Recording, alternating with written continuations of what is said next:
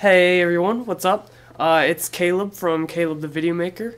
Uh, I'm pretty sick today. I actually called off work and I didn't go to school, so it's gonna be pretty chill today. I decided I would make a video, but nothing too fancy. I'm just gonna go over my notes here rather than try and memorize this all.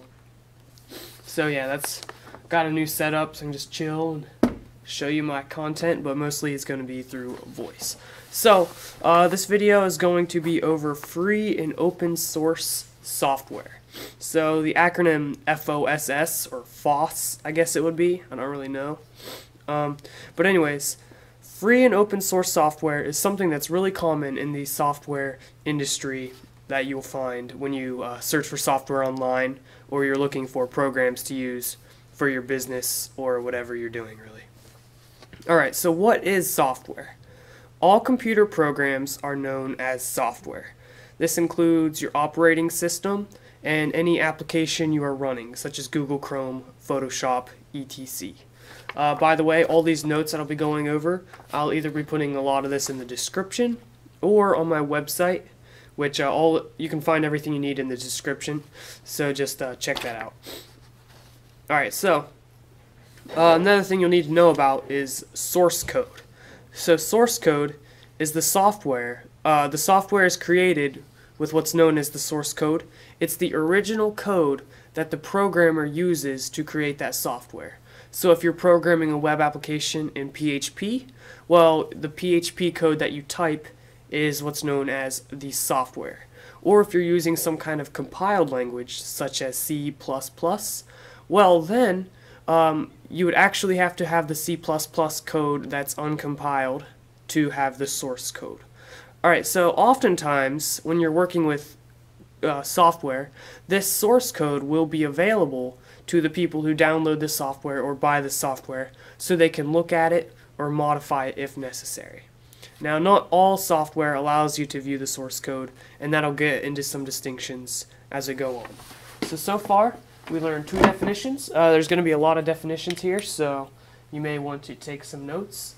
First one, software, which you, uh, whoops, software. I think that's, can you even see that, guys? I don't know. Close enough. Alright, so I guess I'll have to write a little bigger. Let me get my eraser here.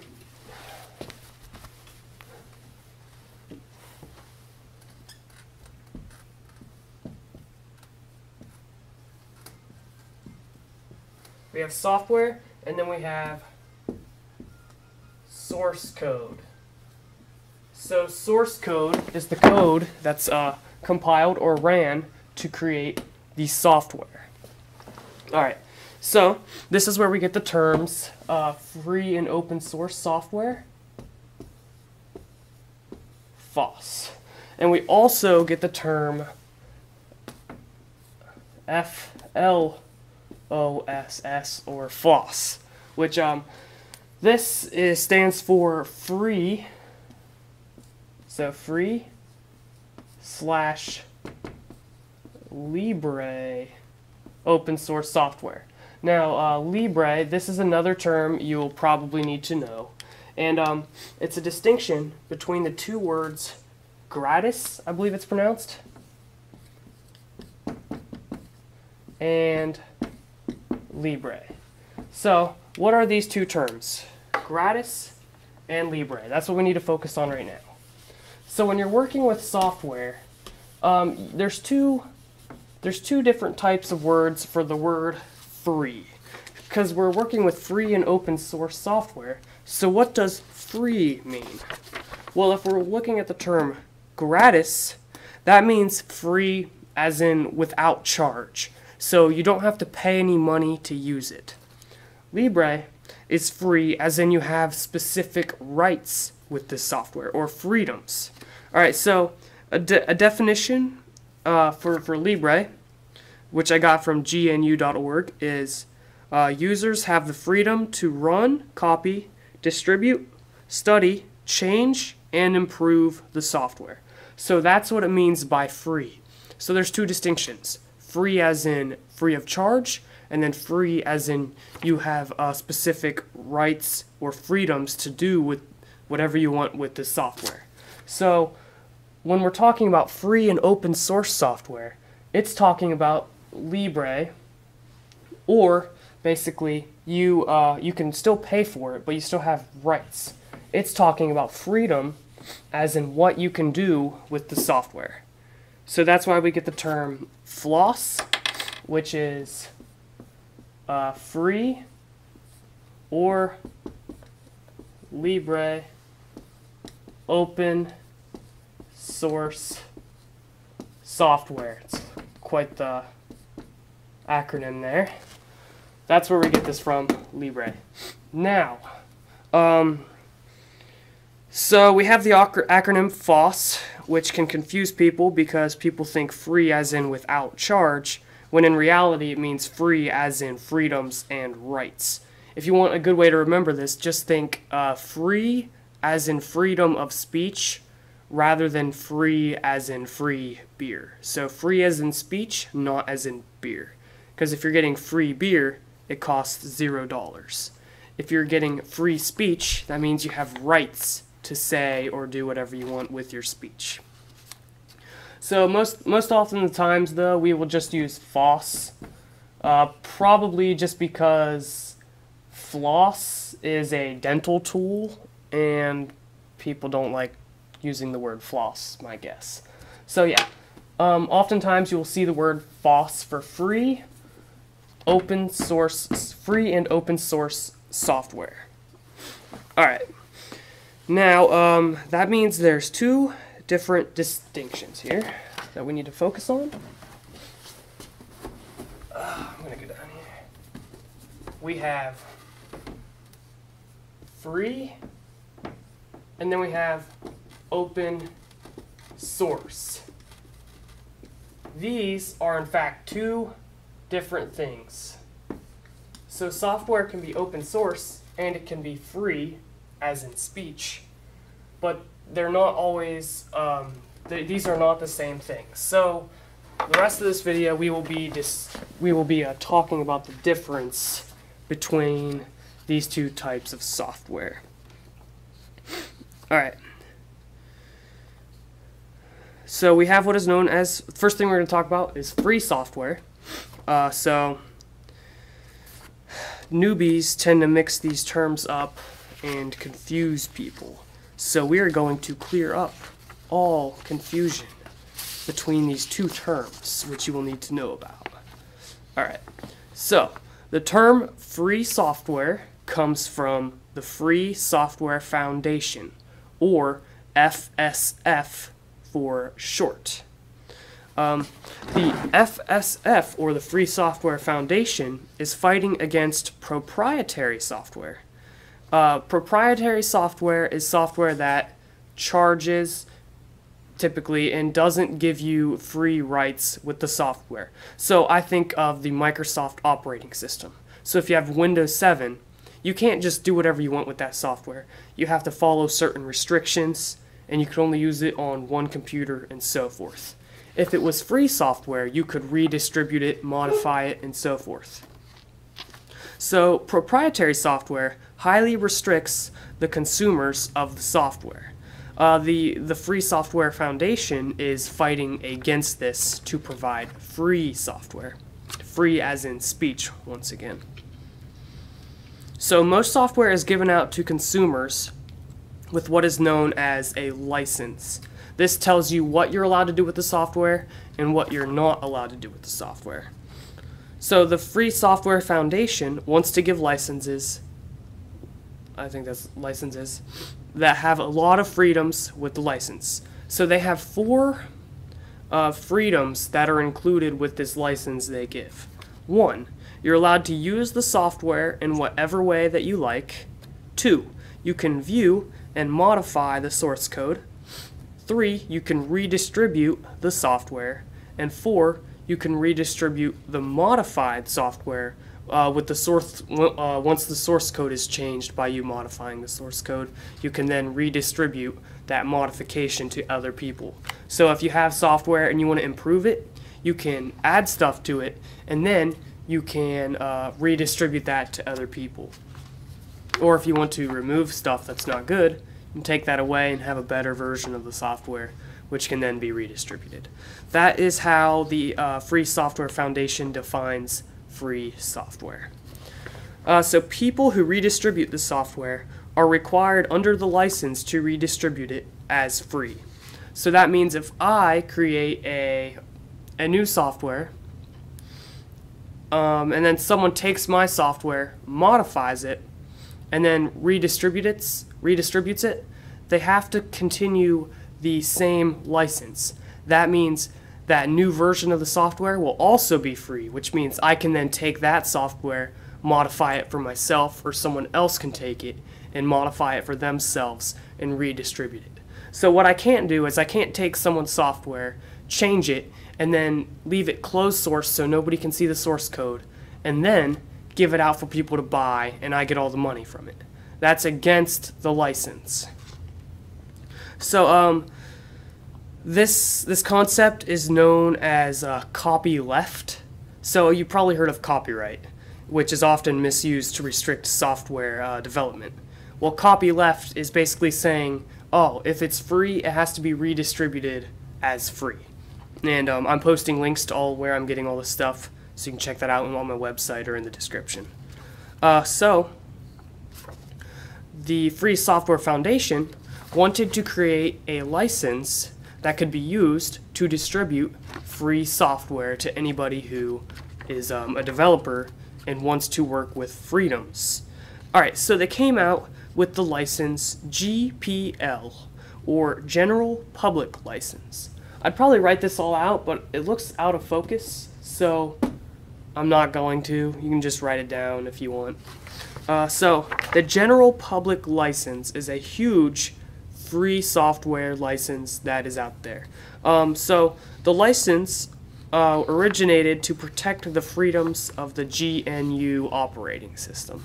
So this was an operating system that people could take, modify, and then redistribute the uh, new improvements or whatever that they did to the software.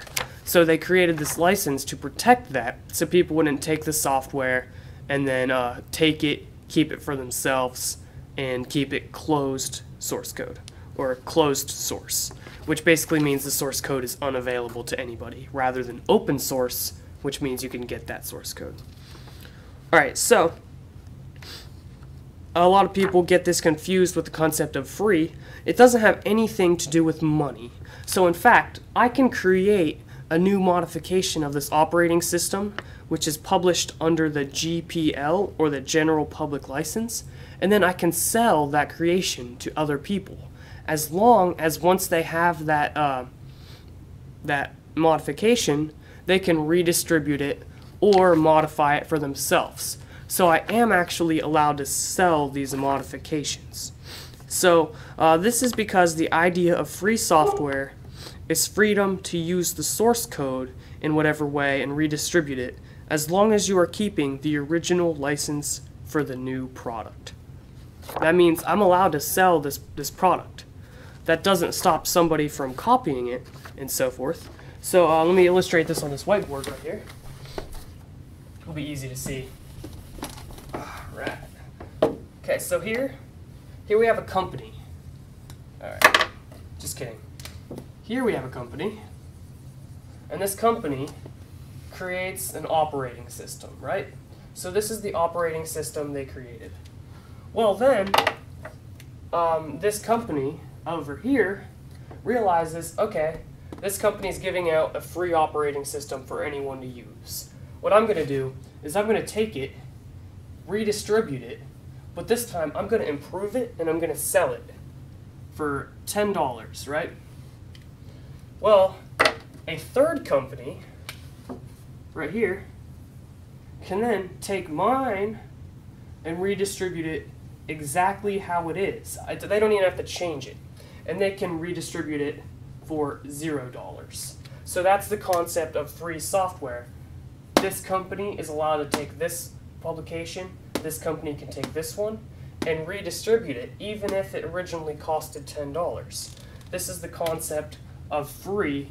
You're pretty much allowed to do whatever you want as long as you keep it free.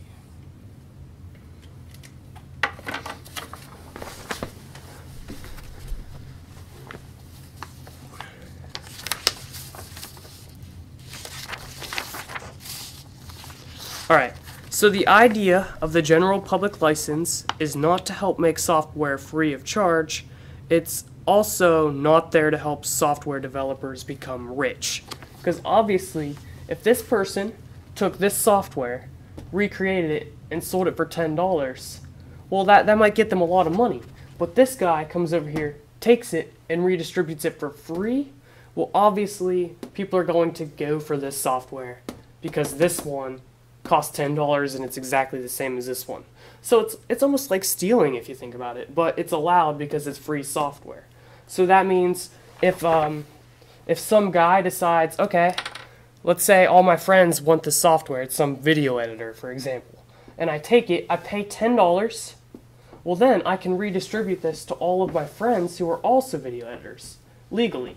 So now all these people have this software.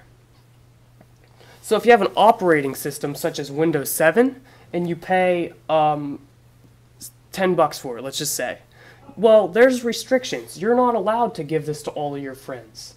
You, you can't do that under the license that Windows 7 runs under. You are only allowed to use it on one computer, and all the other ones are breaking this license and makes it illegal. Well, with a free license, you are actually allowed to redistribute that uh, operating system, just for an example. So, um, because Microsoft, uh, the Microsoft operating system cannot be shared freely, it's known as proprietary. Okay, now that we just talked about free software for like forever, there's another type of software we need to learn about known as open source software. So if you haven't realized already, almost all free software, all free software is open source. So that means if you get this software, you can modify the source code. It's available. You can look at it, you can judge it, and do whatever you want with the source code. So it, in fact, is open source. But just because something is open source does not mean it's free software. So, for example, Microsoft can release an operating system, let's say it's Windows 9, okay? They take the code that they use to create the operating system and they send it with the operating system so people can view the code. That makes this operating system open source. That's because you can openly view the source code that was used to create the, the, uh, the operating system or the software. Well, that does not necessarily mean it is free because you can still have restrictions on this software. So for example, just because it's open source does not mean you can redistribute that source code to all of your friends so you can all have Windows 9. That does not allow you to do whatever you want with the software. So there's two distinctions. Free software allows you to do a lot of stuff with the software, and it's always open source. Open source software is always open source, but it doesn't always allow you to do certain things with this software, such as redistributing it, modifying it, and so forth. Now, there's different levels of open sourceness, so you can have open source uh, programs that you can redistribute. You can have open source programs that you can modify and redistribute. And then you can have open source programs where you can only look at the source code. So there's different levels of what you're allowed to do, and that's going to change from program to program, from license to license. So that's something you're going to need to look over. So I pretty much explained all uh, what I was going to talk about. But just for some extra definitions from the state of Canvas, Canvas.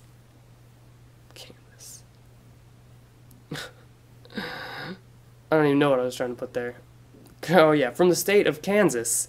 Um, open source software is software for which the source code is freely and publicly available, though the specific licensing agreement vary as to what one is allowed to do with that code. So just like I was talking about earlier, you may not be able to redistribute it, redistribute it, and so forth. So we learned two things from this definition. One, uh, apparently entire states can publish definitions. That's, that's pretty interesting. And two, Open source software does not ensure users the freedoms of, of free software. This means that even though the source code is readily available, you can't necessarily modify or redistribute this source code in any way. This is largely dependent on the specific license, and because this video is not over licensing, we will not be getting into any other licenses besides the basics of the general public license, which we talked about earlier, the uh, GPL, which was used to protect the GNU operating system. So, in summary, there are two main types of software we learned about this in this video. I'm gonna write these out, even though you probably can't even see this. Ugh. This whiteboard's really crappy too. Alright, we have free, and then we have open source software. So we have free software and open source software. Free software, which is what we talked about first, allows you to do a lot of stuff with the source code. So for example, you can redistribute it. You can send it to all your friends. You can uh, modify it and then redistribute it to all your friends. You can modify it and then sell it for a price such as um, $1,000, for example, which is a lot of money. And then you can redistribute it. Uh, you can also do other stuff with it that the license is going to specify. Uh, so an example of a free software license is the, um, let me erase this, the GPL, which is the General Public License. This was created by the Free Software Foundation for the GNU operating system. So those are a lot of acronyms that you're probably just have to get into practice with. But basically, just think of free software as you can do pretty much whatever you want with it. It does not limit it to price. So just because it's free does not mean you can't sell it for $10. Because it's free, it allows you to do whatever you want, including selling it, as long as the final product itself is going to be free. So it has to stay free as in freedoms, not as in price. Open source software is different because you no longer have certain freedoms. So freedom goes out the window. It's just dependent upon the certain uh, license. So, open source software allows you to see the code that you may be reading, blah blah blah, and you can look at it, and depending on the license, you may be able to redistribute it, you may be able to modify it and then redistribute it, or you may even be able to modify it and resell it, which in that case it's pretty darn free. It's just not technically free because it doesn't have a free license. So, this means that when it comes to open source software, you have to pay attention to the specific licensing to see what you're allowed to do. Same thing with free software. Generally, you're going to be allowed to do whatever you want. But it's still important to pay attention to uh, your limitations, such as closing the source code and so forth. Alright, so another thing you wanted to remember probably was um, copy left, which is basically saying um, anything that was originally free that's modified must then be free in the end, as in speech. So yeah, that is the uh, general foundation of free and open source software, or FOSS. So uh, now, um, another thing would be to understand proprietary licensing, which tells you what you're allowed to do with stuff that's not open source, such as Microsoft operating systems, Adobe products, uh, Mac operating systems, and so stuff like that. There's tons of them. So um, so those are the main three types of software. There's a ton more, and um, basically now you'll want to get into exact uh, licensing to understand different licenses and what you can do with those licenses. Is licenses even a word? It sounds really stupid. Anyways, that's uh, this lesson. Hopefully it was helpful. Sorry it wasn't super professional. Just don't feel like professionalizing it today. Just thought I'd get my notes out and teach you some junk. Um, so I was studying uh, Linux systems, and it talked about the GNU operating system, and I realized that free and open source software is a good video idea because I've never really done anything like that.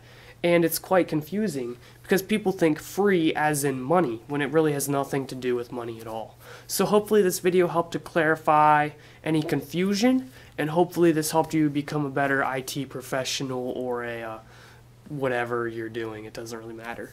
Oh, there's other types of, le- of license such as Creative Commons and stuff like that that you will need to pay attention to. Although this video is just going over free and open source software. So if that was helpful, please be sure to subscribe and uh, leave any comments like this video. Mainly subscribe though, because then you'll get notified every time I create future content, and it's free. So yeah, all these notes will be either in the description or on my website or both. Uh, you can check those out and check out all the other website links I will refer you to. So, once again, I'm Caleb from Caleb the Video Maker. Please be sure to subscribe. Oh, shoot, I lost my mouse. And we are done.